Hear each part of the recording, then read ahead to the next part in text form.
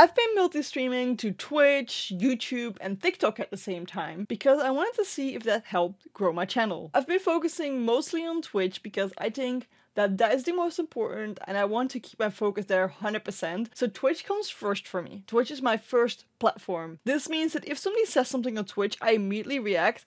And for YouTube and TikTok, if I can't react because Twitch people are talking, they will be basically second choice. Why am I doing it this way? Because I think if you do it differently, then people will feel like they're second place everywhere. And I just want to make sure that people on Twitch feel like, hey, this is the primary platform. And other people on other platforms can still feel like, hey, you know, I feel like Twitch is the primary platform, but they can still just hop into Twitch if they like to. But the thing is, I've heard a lot of people like, hey, how would you actually multi-stream to these things for free? Because a lot of like services ask for money and you know, you might not like that, which, you know, totally fair. I, I'm doing it for free too.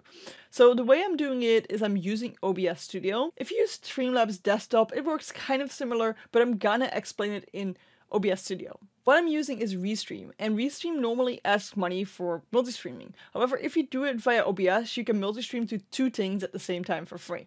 So what we're doing, we're gonna go to Restream. We're gonna go to Restream right here, and what we're gonna do is we're gonna click on Connect to OBS Zoom. If you use this one, it will cost money. We're gonna connect it. We're gonna copy the RPTM URL. We're gonna go to stream settings right here, and we're gonna select our server that we wanna use. And for me, that's Amsterdam because Amsterdam is the most close. You can also click on auto detect if you want to. Then here we're going to copy this URL. We're going to go to OBS. We're going to go to settings, stream, and then paste it right here. Then we need a stream key. That's the, the one underneath. We're just going to copy that and paste it underneath here. And then we're going to click on apply and OK. Now we've put it in our OBS. This means that our OBS is actually connecting to Restream right now. It says remove branding, upgrading, but you don't have that if you stream the way we do right now, okay? If you stream via the studio, you will get this branding. If you do it the way we're doing it right now, you won't have any branding in it. All right, what we need to do now is we need to select which channels. So we can add a channel.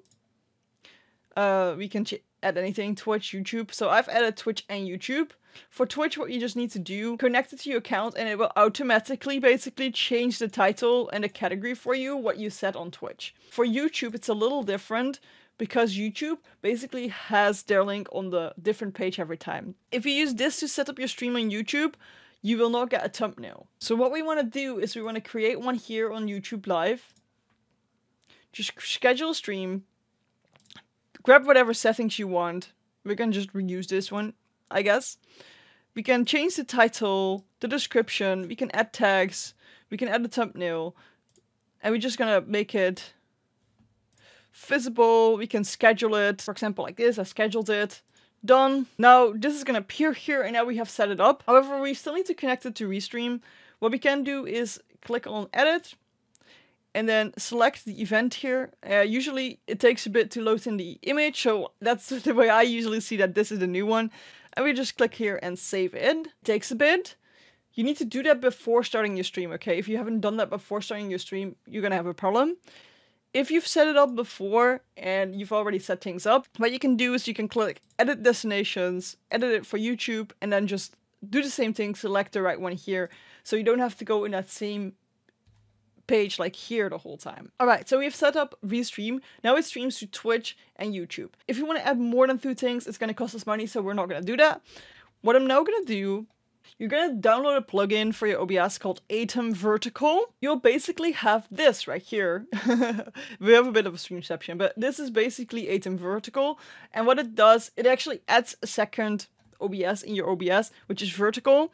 You can see that I have sources here and vertical sources here, scenes here, and vertical scenes here. So these source and scenes are just the normal OBS. And then we have vertical scenes and vertical sources that are linked to this one. So we basically have this mirrored.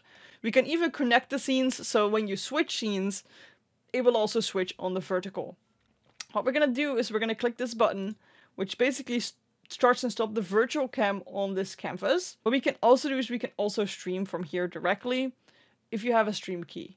If you have a TikTok stream key, you can just put it in here and basically stream like you do in OBS, but we don't have that, so what we're gonna do is we're actually just gonna restream via TikTok Live Studio. I believe that you need a thousand followers to be able to get this app. If you're not able to download it, that's probably why. Some countries it's even have 10,000 and in some countries it's even not available. If you're like, hey, I can't download this, that's the reason why, then you can only stream via your phone, sadly. But what we can do here is we basically have as input, so we add a source and we're, we're adding the virtual camera. So we're just adding a camera source and we're adding OBS virtual camera and then add the source. I've already done that, so it doesn't let me, but this is basically what you get.